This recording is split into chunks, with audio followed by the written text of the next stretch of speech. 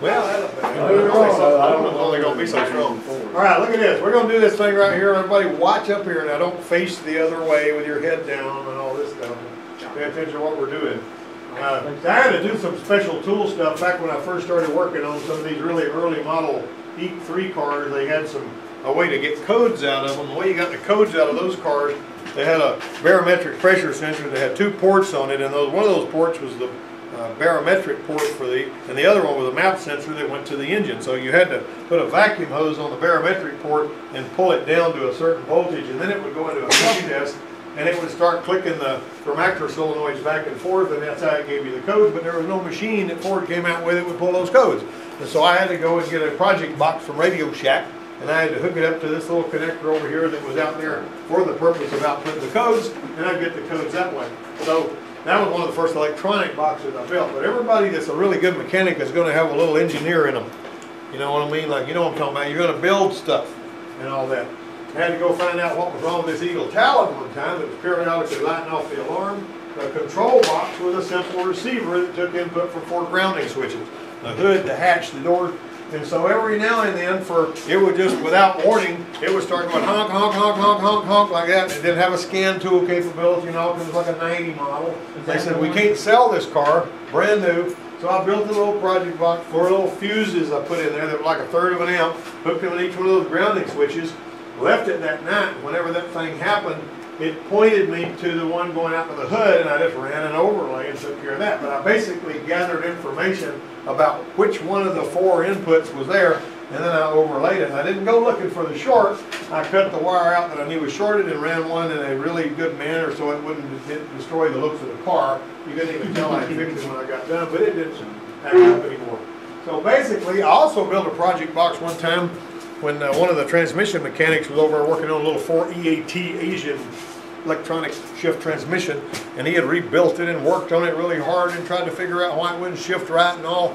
And so we knew which solenoids were supposed to be on and off and when they were supposed to be on and off. That Asian transmission and a lot of these, like Nissans and stuff, they don't power up the solenoid and ground it. They actually ground the solenoid and feed power to it, which is a little bit backwards. So I built a special box and we hooked it into all the solenoids, back probing at the engine controller. And as we watched the pattern of those lights when it was shifting, we found out that it had a bad PCM. See what I mean? But actually it was the box that took it. I also had a box that had a rocker switch on it, a power window switch I built. And if some of these motors on here that did idle speed control and, and did shock damping and all, they were actually polarity reversal deals. And I would operate it back and forth and with those little box I built to do that with anyway. But everybody, these are some of the wrenches I took pictures of in my toolbox this morning. Anybody that's worked on cars very long that is a problem solver, Jonathan, have you've been a wrench? Mm-hmm. You bend the wrench, you cut the wrench, you do whatever you got to do. I took that one right there and bent it into that Z shape so that I could get on a brake line. I couldn't get on no other way. This one right here, I don't know why I bent it like that, but I did it. I bent it a couple of times. That one right there, I had. You'll see box in here. You'll see sockets I brazed together, and you'll see stuff that I put to to solve a particular problem. It's a good idea to have some cheap Chinese wrenches in your toolbox so you don't mind cutting them up. Another thing, you know how aggravating it is to get them oxygen sensors out of some of them five fours because it's sticking up the wrong way and you can't get nothing on it. I got a 7 8 wrench and I cut it off about that long and I put a little notch in either side of where I cut it off and I'll put it up there and get a pry bar on it and break it loose and then screw it on the other refrigerator. I built the same one. And what happened to me was, when I was getting ready to leave and come over here to teach, I had to do one of those right at the very end. And those, uh, some knothead came along where I was working and I had my stuff on the floor because we're equipment and stole my little wrench. They knew that I, what I was using that wrench for, that I had built it, somebody come took it. I haven't needed it since I've been here, but the simple fact is, having a special tool like that that they don't offer on the tool truck and other things. Sometimes you can copy one on the tool truck with your own ingenuity. You know what I'm saying? All right, don't modify any wrench that belongs to somebody else. Don't just cut their wrench and feel like you'd be aight. You know what I'm saying? Because that's not a good way to go. Sure. All right. I got a call from this guy way up north that was working on an Asian vehicle that wouldn't start. He done some drilling and torch work, broke a bolt. I told his you about this the other day, uh, Justin. Told him to scope the cam and crank sensors because I could tell there was some kind of problem there. He had a scope and chose not to go to the trouble to use it. Worked on it another two or three weeks, maybe a month. Found out that during his torch and drill work, he went back in there and see the broken tooth. You break a tooth off of that thing, it's not gonna start, or if it does start, it won't run but a second, then it'll stall, because it confuses the engine controller if it doesn't see what it needs there. All right, so the old days, when we were attacking a drivability issue, this is engine performance day, before the computers thing that took, uh, became the order of things, the first thing we did was we checked everything to make sure it was like it ought to be. So if you get something that you're working on, that you're trying to figure out why it's not doing like it's supposed to, you gotta fix the foundation before you can go up with the house. You know what I mean? What I mean by that is, you gotta make sure the engine's healthy, which is what we've been fighting with on this, it's been sitting in the barn four years, and it's got one problem and another. You also gotta make sure that your ignition components are healthy. You gotta make sure your injectors are clean, or your carburetor's clean, or whatever. You gotta make sure all of that stuff is like it's supposed to be. If you got a healthy bottom end, you got, on this one he's working on, we got this four liter Jeep out there, and it was, the guy was talking about it making lifter noise, so we got with a dial indicator, and we set it on top of the push rods, and he turned it through. It's Supposed to have two hundred and fifty-three thousandths of lift on each valve, and it winds up with ninety thousandths on a couple of them, and hundred and fifty on one, two hundred thousandths on some, and there's only one of them that's anywhere close to where it's supposed to be. So he basically gathered information without spending any money, except the time that he put on it.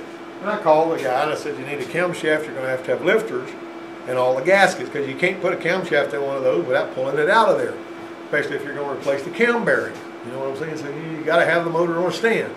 Well, anyway, anyway, you go here, you check the cylinder compression for the same reason. You're basically looking at cylinder compression to see what do we have here for, for compression? Is it good, is it bad, or whatever. What was weird about the one he was working on, that Chevrolet uh, 4.8, when we were first checking the compression, on the number six bounced up to 120, and after that didn't have any compression, and then the compression came back later. It was come and go stuff, you know. But like I say, it's been sitting up for years too. Now we use it a test to rule something out. The in-cylinder compression waveforms can be used the same way. Now pay close attention to this. Put your phone away and look what I'm doing here. The red and blue humps are drawn to represent the valve opening, right? That's what the valves are doing while this waveform is taking. What you're basically doing is you're putting a pressure transducer in a spark plug port, I mean hole of your choice, whichever cylinder you're measuring, and you're gonna spin it over, or actually you can crank it up and let it run because all the other plugs are in there. And you can read this transducer, because the scope will capture it so fast. We got a transducer out here. You might notice you got your lobe separation angle is, you know, 222 crank degrees and then 110 cam degrees and so on and so forth. So basically your crank's turning twice as fast. All right, this one here is your compression puff, spot puff. That's actually pushing that transducer up. Then it goes down right here. This is right before the intake, I mean the exhaust valve opens. You notice it's going below the, this line right here is zero. If you draw a line right there, that's zero.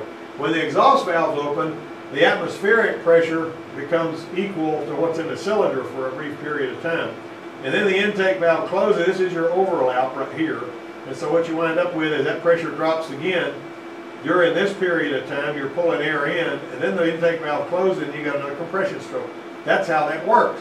You understand that, you even got a nice little uh, diagram down here about crank rotation and all that, tappet lift, rocker ratio, valve lift, and all that kind of stuff. So, this is one that has a problem from the service base. We got this from a, public domain thing online. Many engine control modules will report the wrong cylinder. If the wrong cylinder is reported, you could waste a lot of time on a cylinder that was no problem at all. Have we had that problem on that truck out there? It tells you this cylinder, it tells you that cylinder, it tells you the other cylinder. I wonder if there's something making the valve stick up. Yeah, but at the same time, we're sitting here saying, what we're trying to do is surgically figure out what we're gonna do to repair this thing. And that thing right there would report this, I mean, we was first, what was the first cylinder we were getting a report on? Seven, and eight. Seven and eight, I mean, well, that's what we're getting now, but before that, we got one that was six or three or. Six. Yeah, it. Yeah, six, and now they're, they're just moving all over the place. Well, he's discovered on that one doing injector flow testing that some of the injectors aren't squirting any fuel at all. Five and seven. Yeah, five and seven are doing nothing, you're still checking on the other ones, the, the- the jury's still out on six and eight. Anyway, The six is working, eight, I haven't checked eight yeah, the misfiring cylinder can, if you know how to do it, be identified with a tailpipe exhaust pressure transducer like the one I got out here to verify whether the P03OX code's accurate or not. On this one, we got a 306, you know, I'm just pulling this out of the air. Because whichever one you're checking, see, this is the same cylinder coming up again, right? top dead center, bottom dead center, top dead center, bottom dead center. This one's got a problem, it doesn't look right. This is the waveform on the misfiring cylinder on the car we're talking about. Compare it to a good cylinder on the same engine. See what it was supposed to look like? Remember I told you you compress the air and then basically you're going down here on your stroke and you're basically gonna go, go low. Then when this opens, it goes atmospheric because there's your zero line right here. And then it goes down for your intake stroke again and then it's compressing. You know, you gotta have a transducer to handle that. So basically, we're looking at the bad one and we're looking at the good one. Now, what do you think about this? This is the exhaust stroke. This is top dead center on the exhaust stroke. Instead of going atmospheric like that, we're building pressure here. Somebody talk to me. What are we seeing here? What's the reason for that? I see his phone shining on his Oh. face. He's got it below the table. May as well put it up on the table so I'll know it's there because I know That's it's on there. anyway. What? right? Huh? This is the exhaust stroke. This is, well, this is actually, right, at- this is after beginning the exhaust stroke right here. This is after your power stroke, right there, see? Right. Top dead center is going down with your power stroke. Well, when you go back down, right there after D to E, that's piston's coming down, so it's gonna draw air in. It's gonna try to, yeah, but at the same time, it can't because what's going on here? Where are the valves right here from right here to right here? So, The valve's closed right here. So you're basically got low pressure there, right? It goes below zero. There's your zero line. It goes below zero. And then this bad engine that's giving a problem, it basically just climbs right on up. And you hit top dead center and then it starts going back down again. It falls off again. Well, what in the world would cause that hump right there when it's supposed to look like this with a little turbulence there, but going to zero? It's going above zero.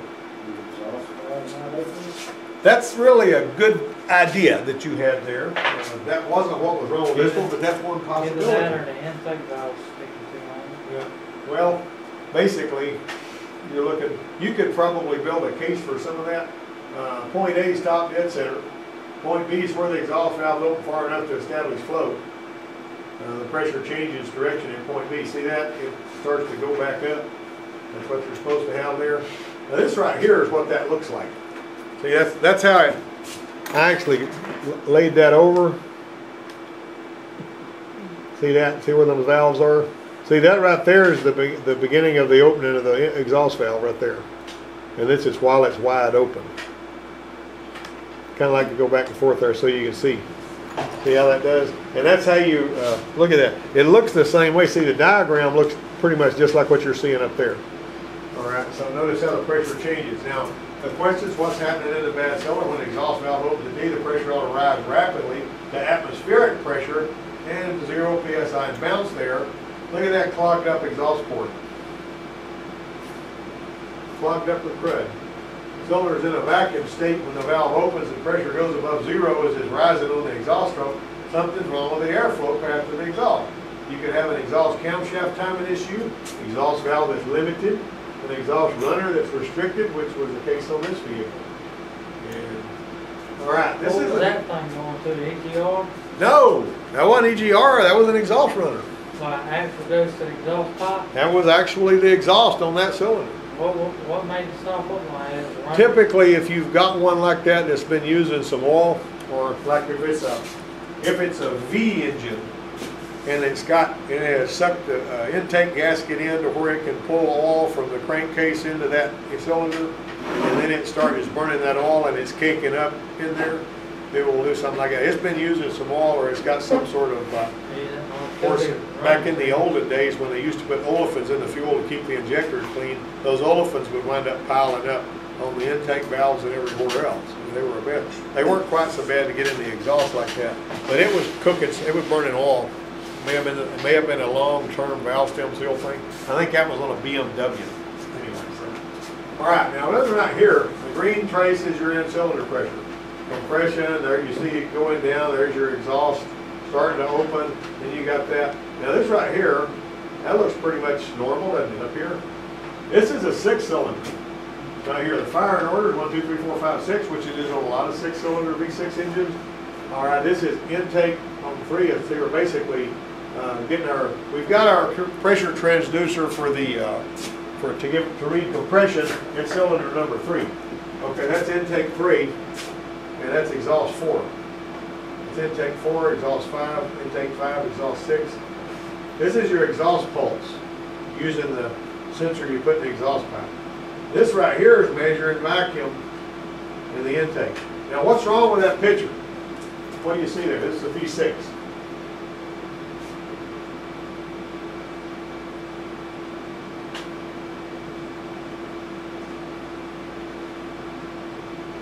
What's wrong with the picture? It is a six-cylinder engine. What do you see? You just want, what did you just say? Four. I only saw four of those. I should see one of those here. I should see one of those here. I'm not seeing them there. I'm seeing a flat right there. There's not something there. That one there is flat. That one there is flat. And that one there is flat. We got four that are doing something and we got three that aren't. At least they're all actually are wrapping around. So basically, what you're looking at is you actually got these right here ought to have it. You'll have three that aren't three. So one way or another, we've got four humps and we've got four dips in the exhaust. What do you think might be wrong with it? Why would it do that? This is a V6. It is a dual overhead cam. It's got two camshafts on each head. Common chain broke on one side. Huh? Or is it not? Somebody just put it together, huh? Common chain broke on one side. Well, it's, it's, yeah, they put it together. It's got a belt. out of time. It's got a belt. So, But it's not out of time, huh? This fire? Oh, it's, it won't even start. So it's not out of time? Well, yes and no. But we're. Screen's been divided into six separate boxes, right? There you go. Shouldn't there be six intake pulses and six exhaust pulses? We only see four. Then they put the camshafts in there wrong. They swapped the intake and exhaust camshaft. You see what I'm saying? Has compression and stuff on some cylinders, but on nothing. But what happened was that the intake and exhaust camshaft had been transposed and the waveform was taken with the engine spinning.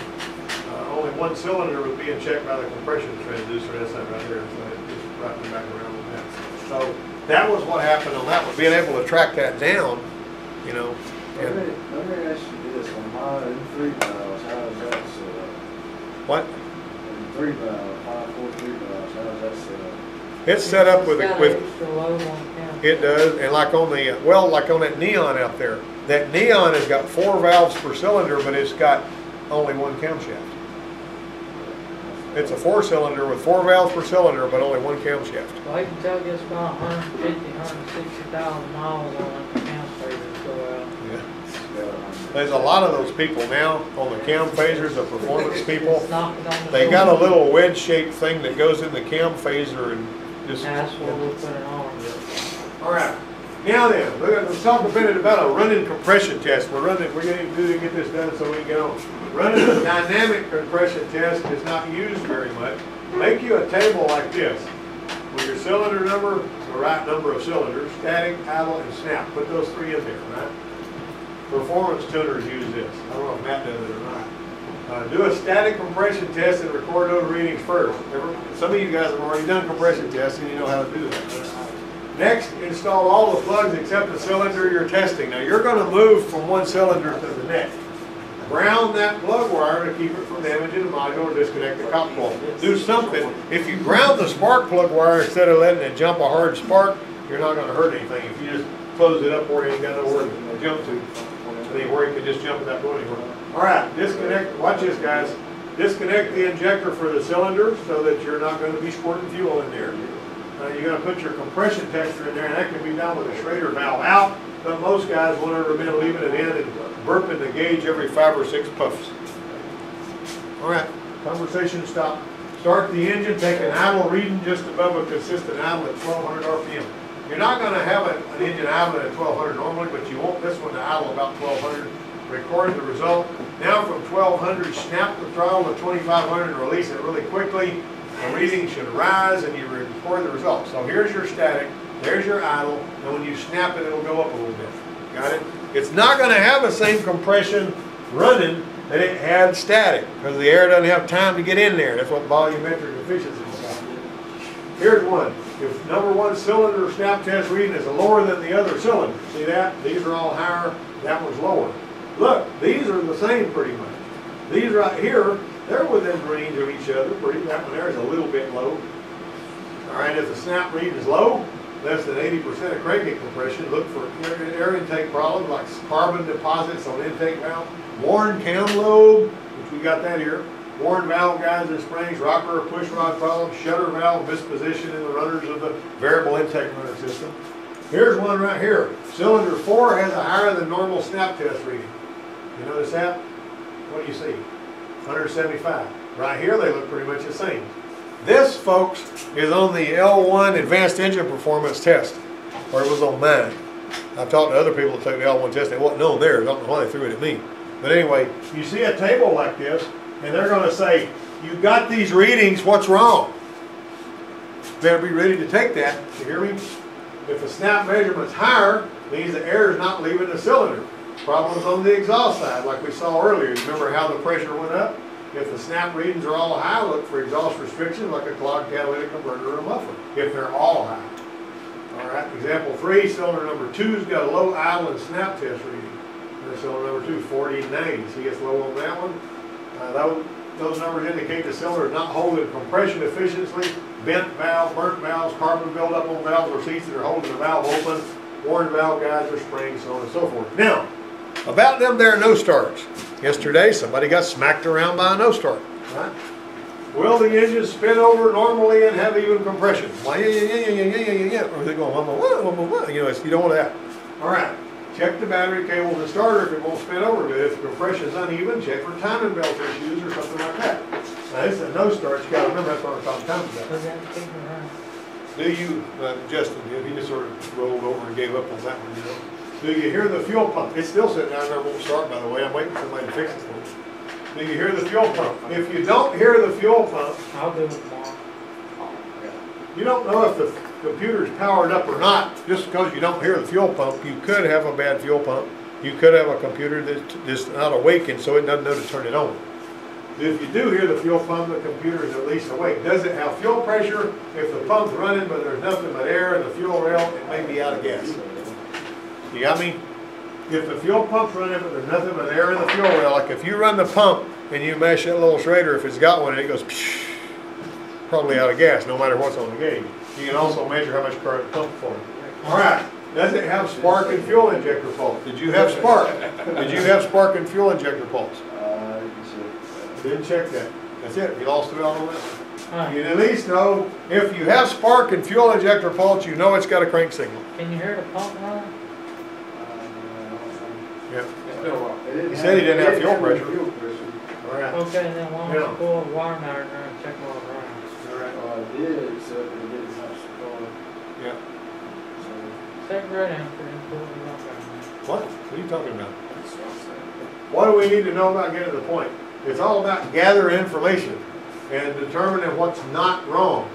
Is the battery healthy? Well, we know we got good s- battery, sometimes just battery terminal connectors. You remember what I told you about that was rebuilt down at that transmission shop over there? And they, they said they never could get it to work right. The guy rebuilt it and he had it for six weeks. And he took it over and Jimmy cleaned the battery terminals and fixed it on one of them power strokes.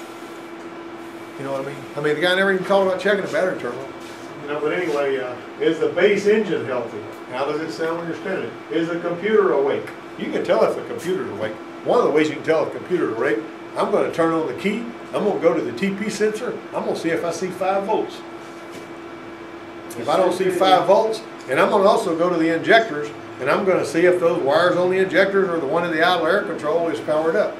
All of them are gonna have to power up the injector. If the relay, if the relays get the power, should it be awake? Well, the relay can get power but not deliver it. If it's, also, if you're not getting ground to the pump, the pump still won't run. Yeah, you gotta have power and ground on both of them. Why don't you check the ground? All right, do we have fuel in sufficient pressure and quantity? I told you about this that time, there's a guy on a Dodge truck, he said, I filled up my truck and I drove a couple of blocks and it died. And, uh, so we got it in here and pumped all the fuel out of it into a can, there wasn't but a quarter of a tank in it. Didn't see nary a bit of water in there or nothing. You could smell of that gas, you could check it for alcohol, there was nothing I could see wrong with that gas. It looked like you could pour it in your car and it would go. But what happened was, we had a situation where whenever we went to start it, the thing was not starting because it had bad gas. We actually put gas in it out of our gas tanker and it fired up and he didn't have any more trouble. I don't know what was wrong with that gas, it was weird. I mentioned that in here before, but I wanted to talk about it. Do you have fuel, good fuel pressure at good quantity? We got strong spark and injector operation. We got clean, not foul spark plugs. I don't know at the time some people get beat up because they can't get one to start and the spark plugs are. You also remember that time, I've told this story before, Donnie was working on one, he couldn't get it to start, he did everything it needed. It was in time, had good clean spark plugs, had everything. And he said, I just don't know what to do with this thing. It won't start and I can't figure out why. And I said, pull three of the spark plugs out. It was a V6. He pulled three of the plugs out and it fired up. And he said, what the heck does that mean? I said, that means your exhaust is stopped up. if your exhaust is stopped up, it ain't gonna start, right? Some vehicles won't start with a bad cam sensor. On some of them, you can, un- like a Nissan Altima, you can unplug the cam sensor and it may start, it may not. So keep that in mind too. It's like car, Yep. So anyway, all right. If your heart's not in it, you'll fail. You ever get started working on something and you say, well, this is not really a car anybody's gonna drive, and I don't really care if I fix it or not.